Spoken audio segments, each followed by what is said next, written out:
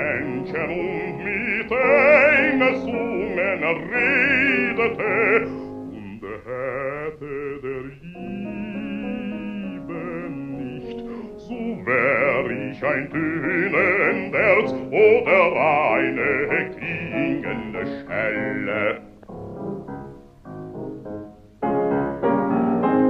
Und wenn ich weiß, sah, und wüsste alle Geheimnisse und alle Erkenntnis und hätte allen Glauben also, dass ich Berge versetzte. Und hätte der Liebe nicht so wäre ich nicht so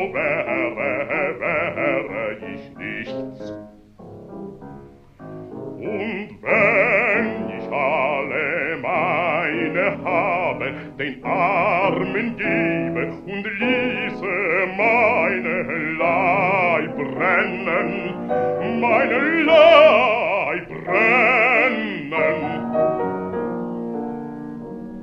Und hätte der Liebe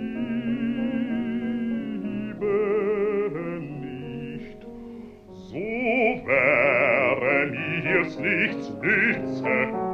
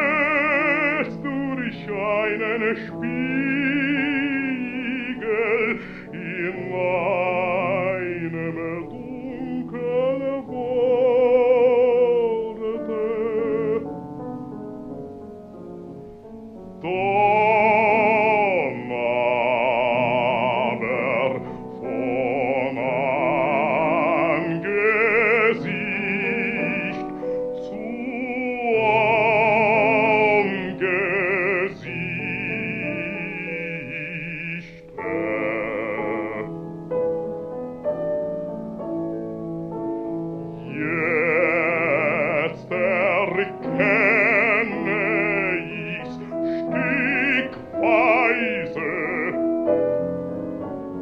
Dumm aber werd ich's erkennen, gleich wie ich erkenne.